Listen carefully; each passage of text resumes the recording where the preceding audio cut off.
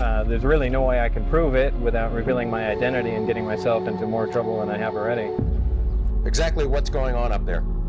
Well, there's several, uh, actually nine uh, flying saucers, flying discs uh, that are out there of extraterrestrial origin, and uh, they're basically being dismantled. Uh, some are, well, in various stages of, of completion, built from other parts, and they're being test flown and uh, basically just analyzed.